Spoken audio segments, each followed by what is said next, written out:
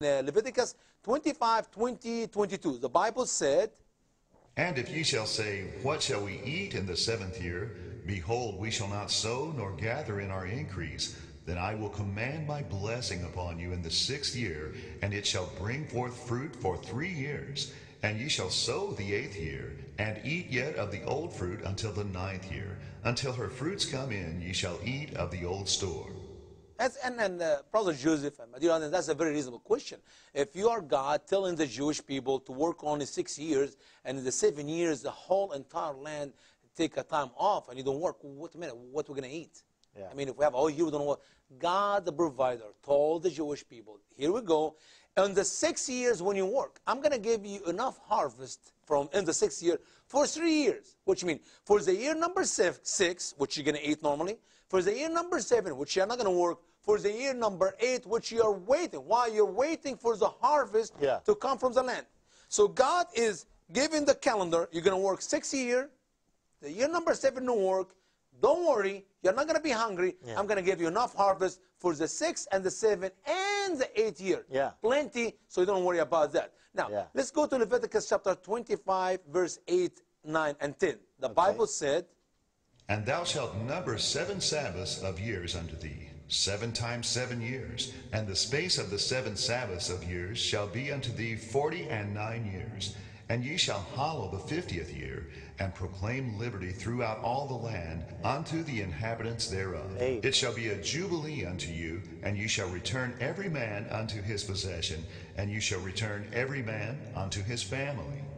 I got to say something. Two things. You, you know, you know that verse is what you know where that is in American history. Mm -hmm. That's on the Liberty Bell. Amen. Did you know that in Philadelphia? a- absolutely. Proclaim liberty to the land and to the inhabitants thereof. Amen. And you know what my daughter's middle name is? No. Jubilee. Go ahead, brother. Beautiful name, beautiful name. But here's the system in the book of Leviticus. You work six years, and the seven years is off. You work seven seven years, that's a 49 year. So the seven of the seven year is off, that's a national. And the following year, which is the 50 years, the year of Jubilee, is another year off. Yeah. What are we talking about? But here's a very important thing about the year of Jubilee. In the year of Jubilee, if somebody has taken land from somebody, Yeah. the land must go back, Right. and the people have to go back free, and that is the year of liberty, as we understand in the Christian and the Jewish faith, as we has been covering in the reading of the scriptures. But, Slave or servant or whatever must go free. but let's talk about now about the working in the six years and the true understanding of the Bible of slavery. Where we can find in the Bible where the Bible said that somebody buy somebody or somebody sell himself to somebody and the true interpretation to the biblical teaching of the Word of God. In uh, Leviticus 25, 14 and 15, listen carefully what the Bible said. And if thou sell aught unto thy neighbor, or buyest aught of thy neighbor's hand, ye shall not oppress one another. According to the number of years after the Jubilee, thou shalt buy of thy neighbor, and according unto the number of years of the fruits, he shall sell unto thee. Notice the Bible does not say that nobody can sell anybody. You can sell. You know who you can sell? Hmm. You can sell you. I'm going to hire myself Yeah. for Brother Joseph, and I'll come to you. I say, Brother Joseph, Yeah. Here is a calendar. Yeah. There is six years. We're going to start a brand new calendar here, six Right. years. I'm going to come work for you. Yeah. And I will sell you myself for six year, $6,000. Right. You pay me up front Yeah. the six thousand dollars. Yeah. I get the money. I could not sell you my son. I Hmm. could not sell you my neighbor. I could not sell anybody, but I can sell me to you. Yeah. And the longest I can ever work for you is six years. Now Yeah. what happened is if there's only two years left from the calendar, Yeah. I cannot say, well, two years. I still need six thousand dollars. No, two years. Obviously, you're gonna get. I will get out of you two thousand dollars, which is roughly a thousand dollars for every year. Right. Just to give an example. Right. So according to the longest, how much time I'm going to be working for you, or if you're going to take uh, uh, uh, uh, uh, my my sweat, or you take my stuff. If you're going to take my harvest from the land, you can buy it. But how much harvest you're going to take is how much you're going to give. Yeah. Of course, there's only one year left, and the year of Jubilee is coming. That's when you get less. Six years, Sure. that's when you get more. Right. It's very important to understand that's the calendar of work and the calendar how much people get from their work. Now I'm going to move to another passage, which is 25 and 26 of chapter 25 of the book of Leviticus. Right. What the Bible said. If thy brother be waxen poor, and hath sold away some of his possession, And if any of his kin come to redeem it, then shall he redeem that which his brother sold. And if the man have none to redeem it, and himself be able to redeem it.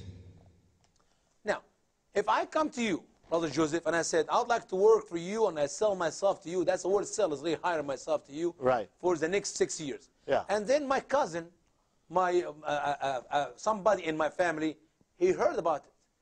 And see, Brother Usama, why did you do this? Well, I, I, I got poor. I needed, I needed a Yeah, job. yeah. I needed some money. And he said, okay, no problem. How long you been working for him? Two years. How much left? Four years. He can come and give the money to you, Yeah. and I am set free. He can redeem, Redeem. me from you. Yeah. Or if I come up with some money, I, I got, Yeah. I receive money.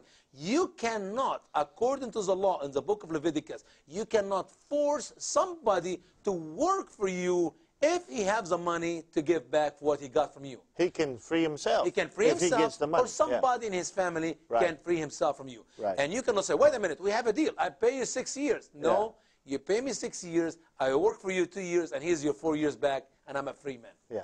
That's a very important, the system, the law as it's written in the book of Leviticus. Yeah. Let's go to Exodus 21. Yep. See what the Bible teaches there. Okay.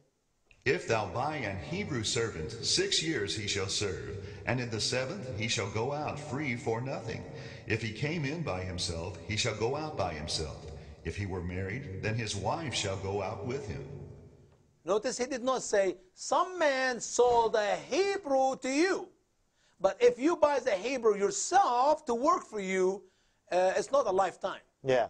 That's, that's when, remember the question we have in, uh, early in our program? Right. Does the Bible allow the slavery of America? No. No. But the Bible allowed another slavery, which is, I'm going to enslave myself to you. I receive the salary for working for you, Right. and you pay me. And the longest I can work ever for anybody is six years. Why? Because this is a calendar, the calendar of uh, God put in the Bible of work. You cannot work for anybody more than six years. When the years, the seven years come, you have to let me go free. Now, if I come to you without a wife, I leave without a wife. If I come to you with a wife, I will take my wife Mm-hmm. and my kids with me.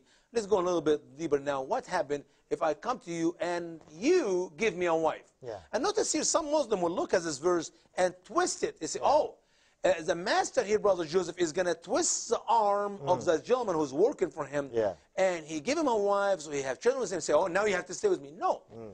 If the law is written before the action take place, it is justice. It's not like let's add another new band, uh, a Right. new statement here in the law. It's already written in the book of Leviticus before it took place, before the Jewish people went to the promised land. Right. What does the Bible say in Exodus 21, 4 and 6? The Bible said, If his master have given him a wife, and she have borne him sons or daughters, the wife and her children shall be her master's, and he shall go out by himself. And if the servant shall plainly say, I love my master, my wife, and my children, I will not go out free, then his master shall bring him unto the judges. He shall also bring him to the door, or unto the doorpost, and his master shall bore his ear through with an awl, and he shall serve him forever. I choose Yeah. to serve you forever. I came to you single. You gave me a, a, a, a loving wife. I loved my wife. I loved my two, three children I got from my wife during the six years when I worked for you. I don't want to leave you. If I leave, I have to leave without my wife because that was already in the contract. That's Yeah. already in the law. Yeah. When you go uh, 45 miles an hour on a, a street of 25 miles an hour, the law said 20 miles over the speed limit, the ticket's $120. If, if a, a police stop you and he said 20, $120 ticket for speeding, you can say, well, that's not fair. Yeah. The law is already written. Yeah. So are you coming to work for me and you, I gave you a wife Mm-hmm. and this wife have begotten you children. You love the wife, you love your children, you choose to serve the master forever. Here's the deal. He will go to the judges, he will go to the elder of the city, and he's here, brother so and so, choose to serve me forever, and he's going to be my uh, bond servant forever. And then it's not between me and you. Now we have witnesses, we have judges.